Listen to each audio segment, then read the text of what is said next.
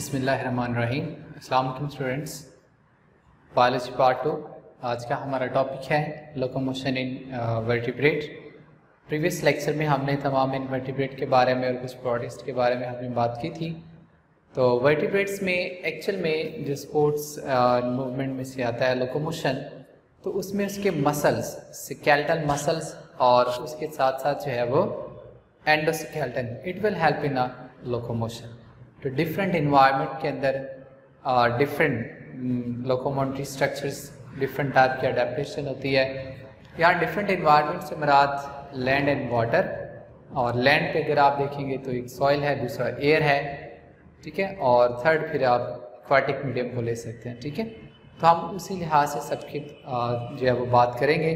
First of all we will discuss about locomotion in water water का जो representing member हम पढ़ेंगे वो है लोकोमोशन इन फिशेस फिशेस के अंदर मूवमेंट देखिए पानी में और हवा में फिर उसके बाद लैंड के ऊपर इसमें चलने में डिफरेंट प्रॉब्लम्स आती हैं पानी के अंदर most probably friction of the water quite difficult है कि उसके अंदर मूवमेंट की जाए ज़्यादा से ज़्यादा लोकोमोशन की जाए तो उस लिहाज से जानदारों में क्या है डिफरेंट टाइप की अडेप्टेशन है ताकि वो अपने इन्वायरमेंट के अंदर रहते हुए अच्छे से लोकोमोशन जो है वो शो कर सके। अब आप देखिए प्रॉब्लम्स इन वाटर सो सबसे बड़ी प्रॉब्लम क्या है?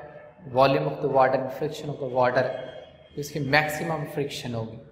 तो उसको कम करने के लिए जानदारों के अंदर बहुत ज़्यादा अडेप्टेशन है। फिशेस में अगर आप बात करें तो सबसे पहले इनकी अडेप्टेशन है फॉलोकोमोशन वाटर वो है स्ट्रीमलाइन बॉडी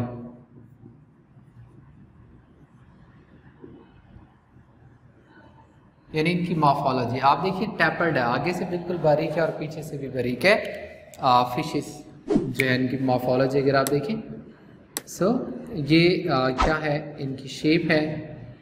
तो अब आप इसमें देखिएगा कि water friction will be minimize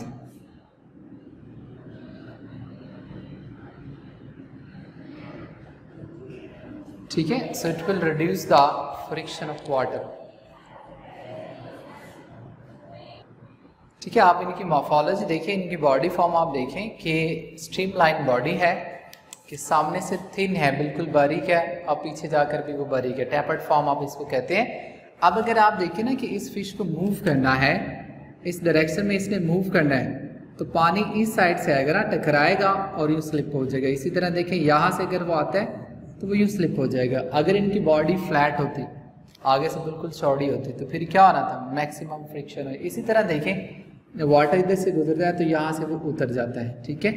इधर से भी उतर जाता है। तो इतनी ज़्यादा फोर्स इनको नहीं फेस करनी पड़ती, यानी वाटर फ्रिक्शन इतनी ज़्यादा इनके पास से अब वो नहीं होती। तो ये इनकी फ़र्स्ट अडेप्टेशन है स्ट्रीम लाइन बॉडी जो पानी की फ्रिक्शन को जो है वो कम करती है। आप इसी तरह देखिए, जो ये बॉड कश्तियाँ वगैरह होती हैं, उनकी शेप भी इसी अंदाज में होती है। क्यों होती है? ताकि कम अज़ कम जो है वो वाटर फ्रिक्शन की जाए, ठीक है? इसके अलावा अगर आप देखें सेकेंड अडाप्टेशन वो है इनके पास some type of scale and glands आप इनके स्केल को देखेंगे ना तो काफ़ी हार्ड से होते हैं। हार्ड और स्लिपरी से होते हैं। तो उसकी रीज़न क्या होती है? यही है कि पानी तेज़ी के साथ यहाँ से क्या करेगा? गुजर जाएगा, ठीक है? इसके अलावा आप देखें, इनके ऊपर ग्लैंड होते हैं oil gland there also known as a species gland यानी इनकी स्किन के अंदर ग्लैंड होते हैं, वो ग्लैंड क्या करते हैं? आप ये देखिए ना, इसकी बॉडी के ऊपर बहुत से स्केल है। आप ये देखिए लेट सी ये सारे स्केल है बॉडी के ऊपर।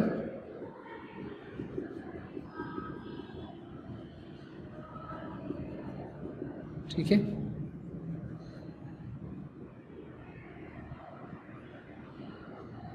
ये, अब इसके ऊपर ऑयल लगा होगा। यानी स्पीशियस ग्लैंड है, वो ऑयल सिक्रीट करते रहते हैं। अब due to presence of oily secretion on a body the water will never do a many friction little bit friction हो सकती। है आप देखें ऑयली सरफेस से पानी वैसे स्लिप हो जाता है।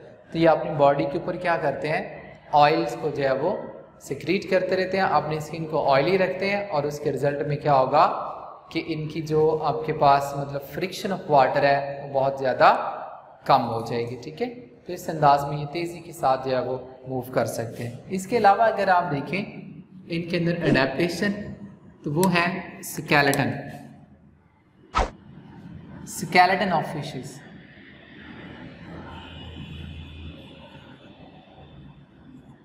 skeleton में अगर आप देखें ना तो देखिए बेटा, पानी के अंदर इनका स्केलेटन बहुत लाइट होता है। यानी डेंसी नहीं है। There is no any type of ossification bones नहीं है कार्टिलेज है। तो लाइट स्केलेटन के साथ इनमें चलना जो है वो बहुत आसान होता है, ठीक है? ये इनके पास क्या है? सारी अडेप्टेशन है। फिर अगर आप देखें तो it has a fins fins आमतौर पर उर्दू में कहते हैं ना फ़िश के पर जो है फिन्स तो वो इसमें बड़ा काम कर रहे थे अब आप देखें, इसमें एक है पेक्टोरल फिन्स और then pelvic fins then caudal fins ये इनमें फिन्स होते हैं। Pectoral and pelvic fins they are known as a paired fins मतलब ये पेड होते हैं। पेक्टोरल ये वाले हैं और पैल्विक ये पीछे वाले होते हैं नियर द एनस ठीक है? या टेल के करीब, और ये पेक्टोरल है, ठीक है? इसके अलावा ये जो पेड फिन्स हैं इनका काम होता है कि बॉडी को number one balance and plus force. ठीक है? ये हेल्प कर रहे होते हैं इस अंदाज में कि लोकोमोशन के अंदर जो है ये सारी की सारी हेल्प कर रहे होते हैं, ठीक है? फोर्स वगैरह बैलेंस मेंटेन इस तरह अगर आप देखिए दूसरा होता है unpaired fins unpaired fins unpaired fins में कौन से आते हैं? Dorsal and ventral. डॉर्सल, यहाँ पे आप इसको ड्रॉ कर सकते हैं। लेट्स सी डॉर्सल फिन्स और लेटरल फिन्स नीचे की तरफ़, यानी डॉन बॉडी इसके नीचे। ठीक है? यहाँ पे आप ड्रॉ कर सकते हैं। नीचे। ऊपर और नीचे। तो ये अनपेड होते हैं। सिंगल होता है पेड नहीं होता। तो ये जो है वो उसकी स्ट्रीमिंग में हेल्प कर रही होती है, ठीक है? या बैलेंसिंग में भी ये भी हेल्प करती है। या स्टेबलाइजेशन जिसे आप कहते हैं स्ट्रीमिंग में स्टेबल करना फ़िश को, वो उसका बेसिकली फ़ंक्शन होगा। तो ये सारी क्या है? अडेप्टेशन है। कॉर्डल फिन्स कहते हैं टेल फिन्स को। ये कॉर्डल फिन्स है। ये फोर्स भी अप्लाई करता है, ठीक है? कॉर्डल फिन्स फोर्स अप्लाई करता है। किसके साथ मिलकर? पेड फिन के साथ मिलकर, यानी पेक्टोरल और पेल्विक फिन्स के साथ मिलकर ये सारा काम कर रहा होता है, ठीक है? तो ये बेटा सारी क्या है फ़िश के अंदर?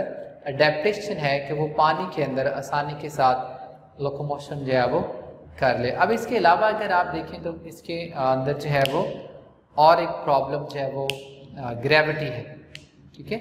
डेंसिटी ग्रेडियंट्स भी आप उसको कह सकते हैं। तो उसी के लिए लोकोमोशन के लिए इसके पास एक करेक्टर है वो है swim bladder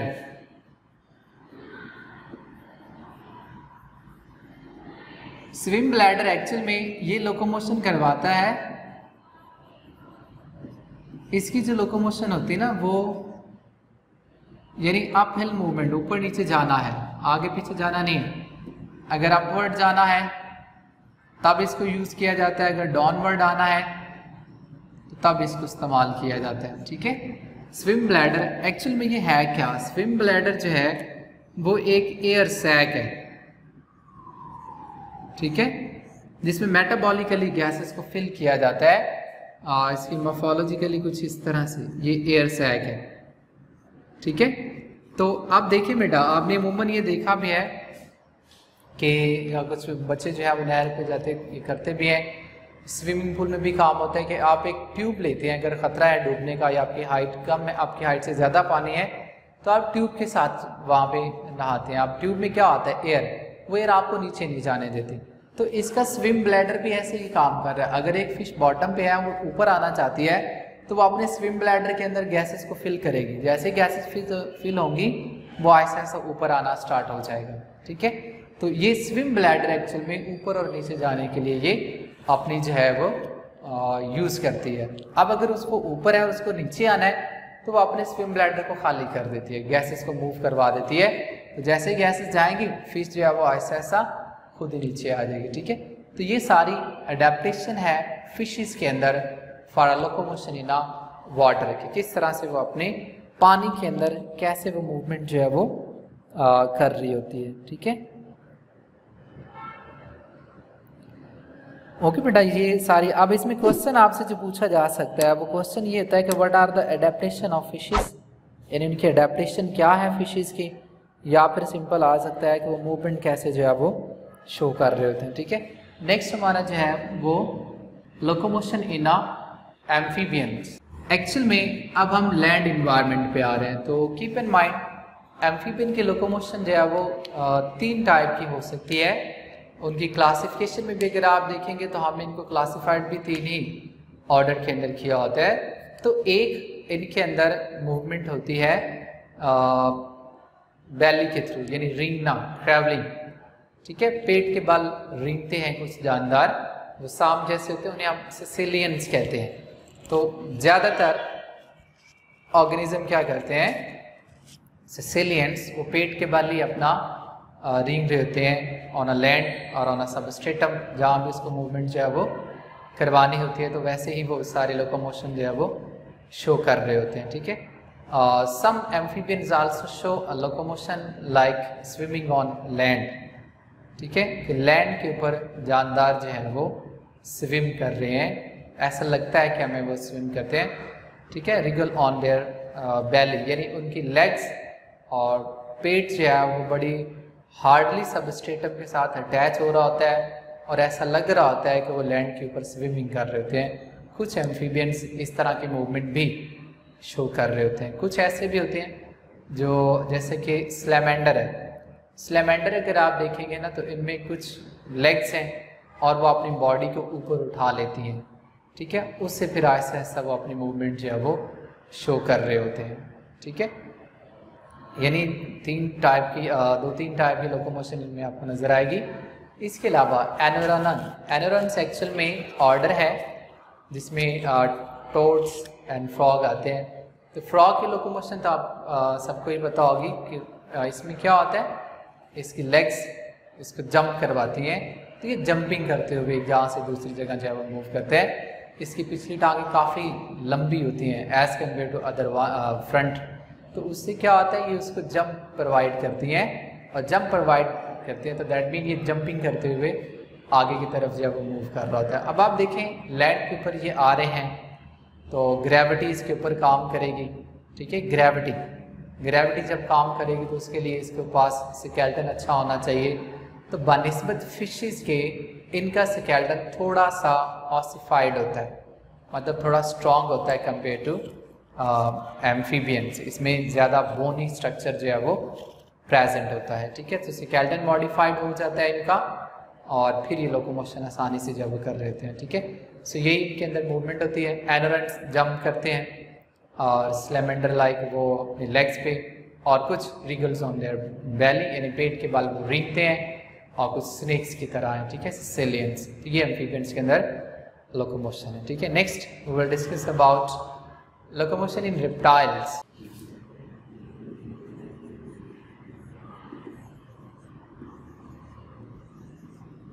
reptiles में अगर आप देखें ना तो इसमें एक तो वॉकिंग है।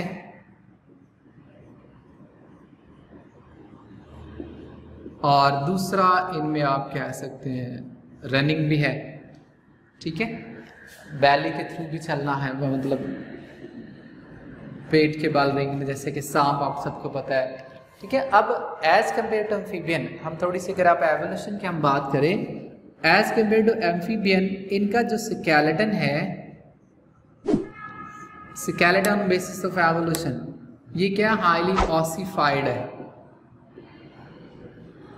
ऑसिफाइड मतलब बोनी हड्डीज में ज़्यादा मज़बूत है एज कंपेयर टू एम्फीबियन ठीक है? ताकि ये सॉइल डेंसिटी के खिलाफ काम कर सके बॉडी को उठा सके, ठीक है? अगर वो चलते भी हैं, टांगों की तो इनका स्केल्टन जो है वो मॉडिफाइड है स्ट्रॉन्ग है एज कंपेयर टू एम्फीबियन ठीक है?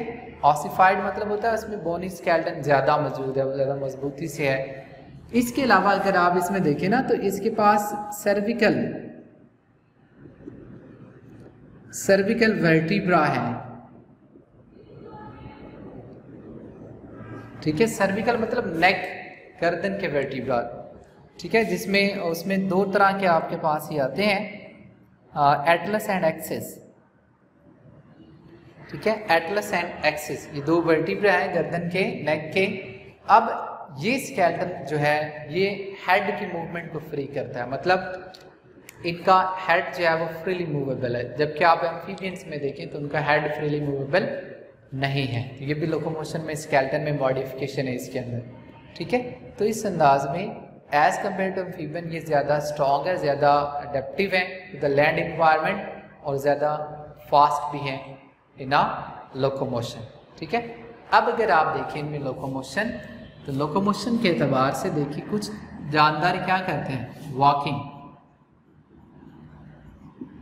अब वॉकिंग वाले ऑर्गेनिज्म जो हैं इनके पास क्या है सम हैव टेल लेग्स ठीक है जो कि स्ट्रांग होती है। इसमें आप देख लें लिजर्ड अब लिजर्ड देखें, उसके पास स्ट्रांग लेग्स होती हैं तो उनके ज़रिए वो वॉक करती है। टेट्रापॉड चार फीट लेग्स इसके पास होते हैं, उसके ज़रिए क्या करते हैं, ये मूव कर रहे होते हैं, आराम से जो है वो चल रहे होते हैं। वैसे दौड़ भी सकते हैं। इसी तरह कुछ ना इसमें होते हैं बाई पैडल चलने वालों में जो कि सोचे जाते हैं। थ्योरेटिकल जो है आपके पास डायनासोर तो वो क्या है? बाई पैडल है, यानी दो टांगों पे वो चलते हैं। अब जब है तो उसकी भी फोर लेग्स लेकिन वो बाई पैडल क्यों है? उनके जो फ्रंट वाले टू है ना, उनको उन्होंने यूज़ करना शुरू कर दिया फॉर फ़ूड यानी प्रे प्रे को पकड़ने के लिए उन्होंने इस्तेमाल करना शुरू कर दिया और पिछली दो टांगों पे वो ऐसे ऐसे चलना स्टार्ट हो गए, ठीक है? तो ये इनके अंदर क्या है? लोकोमोशन है। अब इसमें देखें कुछ होते हैं। रनिंग यानी बैली के बाल बहुत ज़्यादा जानदार रिंग थे इसमें बेस्ट एग्जांपल, स्नेक, सांप जो है। आप देखिए, इसके पास एक बहुत बड़ा वर्टिबल कॉलम और उसके पास बहुत ज़्यादा रिब्स। ये सारे स्ट्रक्चर इसमें प्रेजेंट होते हैं। अब बहुत तेज़ दौड़ने के लिए इसके वर्टिबल कॉलम के अंदर बहुत ज़्यादा फ्लेक्सिबिलिटी होती है।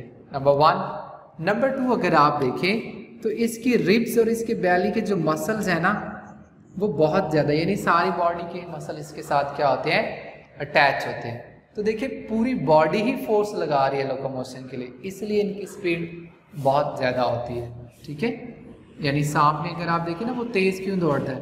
तो उसकी बॉडी के जो मसल्स हैं, वो सारे के सारे तो इन्वॉल्व हैं लोकोमोशन में।